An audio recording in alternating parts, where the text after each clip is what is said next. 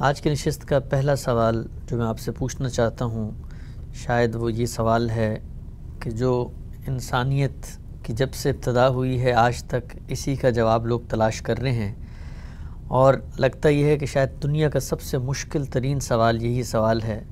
वो सवाल ये है कि इल्म क्या चीज़ है? इल्म है क्या? इल्म का मकसद क्या है? इल्म की मुंतहा क्या है? इल्म के ज़राए क्या हैं? इंसान इल्म के मामले में क्या वो रवैया है जो इख्तियार करे? मैं चाहता हूँ ज़रा आज आप तफसील से हमें बताएँ कि इल्म है क्या। इंसान के ज़ाहरी और बातनी हवास के हासिलात और अकली इस्तेमाल के नतज का नाम इल्म है। यानी मेरे पास है क्या? मुझे कुछ हवास दिए गए हैं जो ख़ारिज की दुनिया से मेरा ताल्लुक़ कायम करते हैं। कुछ हवास दिए गए हैं जो मेरे अंदर की दुनिया से मेरा ताल्लुक़ कायम करते हैं। यानी ये तो बिल्कुल एक बदी चीज़ है। इनके हासिलात इन्हीं को इल्म कहा जाता है। यानी मैं जब इस दुनिया के साथ मुतलक होता हूँ, आँखों से होता हूँ, कान से होता हूँ, छूने से होता हूँ तो मेरे हवास अशिया से मुझे मुतलक करते हैं। मेरे बातिन में भी कुछ हवास हैं, वहाँ पर भी इल्म के कुछ ज़ख़ायर पड़े हुए हैं। कुछ चीज़ें मुझे दे के भेजा गया है। कुछ चीज़ें मेरे वजूद का लाजमा बन गई हैं। कुछ जो कालब मुझे दिया गया है, उसके साथ लाक होती हैं। उन सबको मेरे बातनी हवास अपने इदराक की गिरफ्त में ले आते हैं। तो वो हासिलात हैं, ये हासिलात हैं। इन दोनों का मजमू और बाहमी ताल्लुक़ जब पैदा होता है तो इल्म वजूद में आ जाता है। अब मेरे पास वो बुनियाद मैसर आ जाती है, चूँकि मुझे अकल दी गई है तो मैं इससे इस्तेमाल करूँगा। और इस इस्तेमाल से कुछ नतज निकलेंगे। तो दोनों चीज़ें हैं कि जिनको आप मजमू हैसियत से इल्म कहते हैं। और मेरा ख़्याल है इस पर मैंने दूसरे सवाल का जवाब भी आपको दे दिया है कि ज़राए क्या है? यही ज़राए इनके अलावा मेरे पास कोई ज़रिया इल्म नहीं है। यानी या वो हवास मुझ तक कुछ मालूम पहुँचाते हैं, जिनको ज़ाहिर में मैं भी देखता हूँ, आप भी देखते हैं। इन्हीं के हासिलात को हम तजुर्बा और मुशाहिदा कहते हैं। और ये जानते हैं कि मौजूदा ज़माने में जो साइंसी इल्म है, वो अपना असल इहसार इन्हीं पर रखता। है असल इहसार यूँ नहीं है कि वो महज इन पर मबनी होता है, उसका असल इन्हसार इसी पर है। हमारे बातन में जो हवास हैं, वो भी ज़ाहिर बात है कि हमारे अखलाक़ी वजूद का हमें शूर देते हैं। वो हमारी जमालियाती हिस्स का हमें शूर देते हैं। उसके साथ ख़ुद हम अपने बातिन के अंदर जो कुछ मौजूद है, उसका इदराक करते हैं। उसी की बुनियाद पर हमारा विजदान एक हकीकत बन के हमारे सामने आता है। वही उस इसतरारी इल्म को दुनिया से मुतलक करने का बायस बनते हैं, जो हमें अल्लाह ताला ने दे के भेजा है। तो ये हमारा बातिन है, ये हमारा ज़ाहिर है। इसमें हवास दिए गए हैं, अंदर भी और बाहर भी। यानी हादसा अखलाक़ी है तो वो भी गोया मिनजुमला हवास है। इसी तरह बाहर के हवास से तो हर आदमी वाकिफ़ है। ये सब कुछ जब मैसर आ जाता है तो अकल इस्तेमाल करना शुरू कर देती है। यानी वो जो कुछ हमें दिया गया है, वो देखती है कि क्या इससे कोई असल वजूद में आ गई है तो उसके फ्रू निकालना शुरू कर देती है। कोई फ़रा मैसर आ गई है तो असल को दरियाफ़त करने लग जाती है। जैसे अफलातून ने इस कायनात के अज्जा में जिन चीज़ों का जहूर हुआ है, उससे कुल्ली दरियाफ़त की और आलम इस्लाम का तक, आलम मिसाल का तखयल पैदा कर लिया। तो ये ज़ाहिर क्या काम है? अक्ल कर रही है ना? तो ये इस्तेमाल का तरीका। तो इस्तेमाल, अब साइंसी में भी दाखिल हो गया है। आपके सामने आपके हवास ने कुछ चीज़ें रख दी हैं, वो आपने इस पूरी कायनात में देख ली हैं। आपने कुछ इंसान देख लिए, आपने कुछ फौसल देख लिए, आपने कुछ बस्तियाँ दरियाफ़त कर ली, आपने ख़ुद इंसान के अपने वजूद का तजिया कर लिया। ये सब चीज़ें जब हो गई तो अब इनसे इस्तेमाल करके आप कहते हैं कि अच्छा ये हुआ होगा, ये हुआ होगा तो नज़रियात इससे बनना शुरू हो जाते हैं।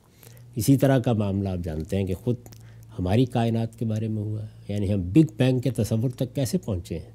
उसको हम देखते नहीं हैं। वो हमारे मुशाहे की चीज़ नहीं है। हमने कायनात को वसी होते देखा है। वो आज भी देख सकते हैं। तो इससे इस्तेमाल करते हैं। तो हमारा इल्म इस्तेमाती भी होता है और हमारा इल्म बर रास्त हमारे ज़ाहरी या बातनी हवास के हासिलात पर मबनी भी होता है। और असल इल्म वही है। यानी जो पैदा होता है या जो दिया गया है हमें, वो वही हमारे हासिलात हैं। इस्तेमाती इल्म, ये बहरल फिर उसके बाद का अमल है। और मैंने अर्ज़ किया कि इस्तबाती इल्म भी कोई छोटी सी चीज़ नहीं है, वो भी हमारे वजूद का अहाता करता है, हमारे तस्वरत का अहाता करता है, और हमारे तमाम ूम में आगे बढ़ने की बुनियाद वही फराम करता है। इसलिए कि उससे नज़रियात बनते हैं, और जो कुछ भी हम आगे बढ़कर दरियाफ्त करते हैं, उसके लिए गोया रास्ता हमवार हो जाता है। तो ये है। ठीक, अगर हमसे भी बताइएगा कि आमतौर पर ये कहा जाता है, जब इस मौजू पर फ़लसफियाना सतह पर गुफ्तु होती है तो सबसे पहले एक फ़र्क वाजे किया जाता है और कहा जाता है कि इल्म और मालूम में बहुत फ़र्क होता है और इल्म का आगाज़ लफ्ज़ से होता है और लफ्ज़ अपना एक शूरी तस्वुर है जो तखयल में या जहन में रखता है। लिहाजा जब तक आप उस तक रसाई हासिल करके एक एतराफ़ के मकाम पर नहीं आते और वही असल बुलंद और आला और अरफा तस्वुर है जो जहन में है, ना कि जो ख़ारिज में है। तो इस फ़र्क को आप कैसे देखते हैं? देखिए लफ्ज़ तो इबलाग का ज़रिया बनता है। ये दुरुस्त है कि हमारी तरबियत इस तरह हो जाती है। हम पैदा होते हैं तो जैसे जैसे शूर बेदार होता है, हम ज़बान सीखना शुरू कर देते हैं। तो इसलिए जितने तस्वुरात भी बनते हैं, वो लफ्ज़ से मुजरद होकर नहीं बने होते। वो लफ्ज़ों के साथ ही हमारे यहाँ मौजूद होते हैं। तो इसलिए ये बात सही है कि खा हमारा ज़ाहिर हो या हमारा बातिन हो। हमारे हवास जैसे ही अशिया से मुतलक होते हैं अंदर तस्वुरात से मुतलक होते हैं अंदर भी कुछ हिस्सियात हैं जिनसे वो ताल्लुक़ पैदा करते हैं। तो जैसे ही ताल्लुक़ पैदा करते हैं तो लफ्ज़ के सांचे में ढले हुए गोया चीज़ें हमारे सामने आती हैं। हम्म। ये बिल्कुल दुरुस्त है इस पर कोई शक नहीं है। हमारी ये मजबूरी है क्योंकि हम इससे हट कर तस्वुर नहीं कर सकते किसी चीज़ का। इसी वजह से अल्लाह ताला भी जब किसी नादीदा आलम का तारुफ़ कराना चाहते हैं तो ये नहीं हो सकता कि उसकी कोई तस्वीर हमारे जहन में ख़ुद ब खुद आ जाए। उसे लफ्ज़ों ही का पैरहन पहनाते हैं और फिर ये कहते हैं कि मैंने मुतशाबिहात का तरीका इख्तियार कर लिया है तो ये बात अपनी ज़ात में दुरुस्त है बिल्कुल। ठीक। अगर आंसर ये बताइएगा कि आमतौर पर कहा जाता है कि जो दुनिया के अंदर ूम फ़नून हैं और जो इल्म और फ़न एक इल्हामी रिवायत से वजूद में आता है, इन दोनों का तकाबुल या इन दोनों का अगर मुवजना किया जाए तो कहा जाता है कि ये सब ज़मनी ूम हैं, ये सब उसके तहत हैं। असल इल्म वो है जो वही का इल्म है। तो इन दोनों इल्म में एतबार के लिहाज से क्या फ़र्क है? ये कभी तकसीम मेरी समझ में नहीं आई। उसकी वजह यह है कि जिस तरह मैंने आपकी खिदमत में अर्ज़ किया कि हमारे हवास के हासिलात का नाम इल्म है। यानी उसकी बुनियाद यहीं से पड़ती है। उसके बाद इस्तेमाल का अमल शुरू होता है। तो पैगंबर के हवास का हासिल है, वही। अच्छा। इसलिए कि पैगंबर को जब आसमान से ख़िताब किया जाता है तो क्या किसी पत्थर को ख़िताब किया जाता है? एक ज़िंदा हस्ती को ख़िताब किया जाता है? यानी रसूलुल्लाह सल्लम ने एक बात सुनी अल्लाह ताला की तरफ़ से। ऐसे ही जैसे हम आवाज़ें सुनते हैं। हम्म। वो इतनी हकीकी होती है उसकी तस्वीर देखनी हो तो कुरान मजीद में सैदना मूसा की नबूत का वाक़ देख लीजिए। रात है तारीकी है सफ़र में है बच्चे साथ हैं, सर्दी है, उसमें ख्याल पैदा होता है कि कहीं से कोई रहनुमाई हासिल की जाए। एक जगह आग नज़र आती है तो इससे इस्तेमाल करते हैं कि यहाँ कोई काफ़िला होगा, आग जल रही है तो लोग होंगे, रास्ता पूछ सकूँगा। कुछ भी ना हुआ तो कुछ अंगारे ले आऊँगा ताकि ताप कर सर्दी का मुकाबला कर सकें। तो अब ज़ाहिर है कि ये पहले जो, ये हवास है, इनका मुशाहिदा है। उसके बाद वहाँ से आवाज़ आती है। तो आवाज़ कौन सुनता है अच्छा। पैगंबर के बात नहीं आवाज़ सुनते हैं हम्म। ये वही जिसको कहा जाता है उसमें भी यही होता है जिस तरह मैं आपको सुनता हूँ या आपकी बात सुनता हूँ या अपनी माँ की बात सुनता हूँ बाप की बात सुनता हूँ उस्ताद की बात सुनता हूँ तो ये सुनना जो है अल्फाज का जामा पहन कर जब आपकी मालूम मुझ तक पहुँचती हैं तो इल्म मुंतकिल होता है हम्म। बिल्कुल इसी तरीके से पैगंबर को मुंतकिल होता है कुरान मजीद ने ये वाजे कर दिया है बहुत वजाहत से बयान कर दिया है कि ये अल्लाह ताला के अपने बंदों के साथ कलाम की सूरत है। अलबत् इसको अल्लाह ताला ने महदूद रखा है। हम्म। तो इसलिए पैगंबर की गवाही या पैगंबर की शहादत तक ये इल्हाम हम हम तक पहुँचता है। ठीक। लेकिन फिर हम भी क्या वजह है कि दुनिया को दुनिया के अंदर जो मरूफ ज़राए हैं इल्म के हसूल के हम जब वही की बात करते हैं तो हम कहते हैं कि हम उसकी हकीकत वही का क्या नौीयत होती है खालिक से उसका सदूर पैगंबर को उसको प्रसीव करना इन चीज़ों को बयान करने की कुदरत नहीं रखते हम। तो अगर वो भी एक ज़रिए इल्म ही के ज़रिए उन तक पहुँच रही है और उससे इल्म हासिल हो रहा है तो उसको जिस तरीके से इस्तम्बात है तजर्बा है मुशाह है इसी कैटेगरी में रख के बयान करना फिर क्यों मुश्किल काम है? नहीं देखिए बात यह है कि तो हमारे अपने जो बातनी हासिलात हैं उनको भी बयान करना बहुत मुश्किल हो जाता है बाद हम्म। यानी ज़ाहिर के हासिलात को बयान करने आसान है।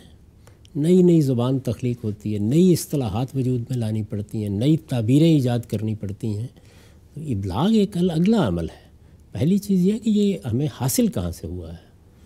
तो पैगंबर को जो कुछ हासिल होता है, वो उसको बयान फरमाते हैं। और जब बयान फरमाते हैं तो बिल्कुल उसी तरह बयान फरमाते हैं, जिस तरह के एक साइंसदान अपने हासिलात को बयान करता है। यानी उसको अपने तजुर्बात, मुशाहिदात से एक चीज़ मिलती है तो वो आप तक पहुंचाता है पैगंबर को मिलती है तो वो भी पहुंचाता है। इसमें जो असल मसला है वो ये है कि हर इंसान को इसका तजुर्बा नहीं हो सकता। हम्म, अच्छा। यानी अगर आप ये मुतालबा करेंगे पैगंबर से कि अल्लाह ताला ने कलाम किया वही नाजिल की इल्हाम हुआ आपको तो हमें भी होना चाहिए तो ये नहीं हो सकता। हम्म। इसलिए कि अल्लाह ताला ने इसमें इख्तसास का तरीका इख्तियार किया है। यानी यूँ नहीं किया कि अपनी हिदायत पहुँचाने के लिए वो हर एक को इल्हाम कर दे हर एक पर वही आ जाए हर एक को किताब पकड़ा दी जाए। उसके लिए तरीका ये इख्तियार किया गया कि वो अपने बंदों में से कुछ का इंतखब करता है। वैसे तो दुनिया के तमाम ूम में इंतखब ही हो रहा है। हम्म। यानी जितने भी ूम फ़नून हैं ऐसा नहीं कि हर आदमी उसका माहिर हो सकता है या हर आदमी उसे पा सकता है। आप शायरों को देखिए, अदीबों को देखिए, इसी तरह साइंसदानों को देखिए मुख्तलूम के माहरीन को देखिए, ख़ास मलकात ले के आते हैं लोग और फिर उन्हीं को वो परवान चढ़ाते हैं, उनकी परवरिश करते हैं, पर्दाख्त करते हैं। उसके नतीजे में ज़ाहिर है कि ूम पैदा होते हैं। लेकिन वो सब चीज़ें फिर किसी न किसी शख्स के लिए मुमकिन होती हैं कि उन्हें हासिल कर ले। वो आपको भी दावत देते हैं। पैगम्बरों के मामले में चूँकि इख्तसास होता है, इस पर इकतसाब का कोई सवाल नहीं होता। तो इस वजह से ये तजर्बा मुझे या आपको कराया नहीं जा सकता। ठीक। चनाचे हम पैगंबर पर जो चीज़ नाजिल होती है उसको फिर इल्मी और अकली तरीके से तजिए से गुजारते हैं। हम्म। यानी अब हमारे पास रसूलुल्लाह पर जो इल्हाम हुआ या रसूलुल्लाह को जो वही की गई उसका ज़ख़ीरा कुरान मजीद की सूरत में मौजूद है। तो कुरान मजीद को हम देखते हैं और जब कुरान को देखते हैं तो बिल्कुल उसी तरह जो हमें हवास दिए गए हैं उनके ज़रिए से कुरान मजीद का मताल करते हैं। आँखें होती हैं तो पढ़ सकते हैं, कान होते हैं तो सुन सकते हैं। इसी तरीके से जब वो हमारे सामने हकायक को रखता है तो इस्तलाल करता है। इस्तलाल के मुकदमात सब के सब वही हैं जो हमारे हवास के हासिलात हो सकते हैं। उनसे इस्तेमाल के तरीके बिल्कुल वही हैं जो तरीके के हम दुनिया के दूसरे ूम में इख्तियार करते हैं। तो उसी तरह का इल्म हमें हासिल हो जाता है। लेकिन अगर कोई शख्स इस बात पर इसरार करे कि मुझे भी वही का तजुर्बा होगा, तब मैं मानूँगा। तो ये मुतालबा पूरा नहीं किया जा सकता। ठीक। अरे, हम सब इस बहस को समेटता हूँ मैं। मुझे ये बताइएगा कि ये जो बहस है, ख़ुद जिस तरीके से आपने इसको बयान किया और दरिया को खूजे में बंद किया चंद मिनटों में, और लगता यह है कि ये जो पूरी आपने हकीकत बयान की इस सवाल की, मेरा भी यही एतराफ़ है और मुझे भी बहसीत इंसान यही लगता है कि मैं अपने बातिन का मुशाह करता हूँ, खारिज का करता हूँ। कुछ चीज़ें हैं जो मेरा इसतरारी इल्म है तजर्बा है, उसके बाद इज्तमाही इल्म में उठलता है और इस्तबाद से मैं नए नए नतज अखज़ करता हूँ। ये मुझे बताइएगा कि फिर ये जो बहसें हैं, ये इतनी मुश्किल क्यों हो जाती हैं? हमें देखते हैं कि फ़लसफ़े में और मनतकी लोग और कलामी मबास और सैकड़ों किताबें और मुश्किल दकीक असलाहत और कहा जाता है कि ऐसे सवाल हैं जिनमें पूरी पूरी ज़िंदगी सरगर्दा रहना पड़ता है। आप इनको इतनी सादगी से, जैसे आपने बयान कर दिया तो फिर ये जो सवाल की मुश्किल है, वो कहाँ गई? मेरे भाई वो बड़े उलमा होते हैं मैं तो एक तालब इलम हूँ। तालब इलम तो चीज़ों को सादा ही रखते हैं ऐसे ही समझते हैं। तो इसलिए वो जो कुछ कहते हैं उनसे सुन लीजिए मैं जो कुछ अर्ज़ कर रहा हूँ मुझसे सुन लीजिए। ठीक ठीक है। मैं तो तमाम ूम फ़नून के बारे में यही राय रखता हूँ कि जब वो गिरफ्त में आ जाते हैं तो फिर उनको नहायत सादा अल्फाज में और हर शख्स के फ़हम के करीब लाकर बयान किया जा सकता है। हम्म। इसमें कोई मुश्किल नहीं होती। ताहम दूसरे अहले इलम के अपने अंदाज हैं, अपने तरीके हैं, मैं उस पर कोई तबसरा करना पसंद नहीं करता।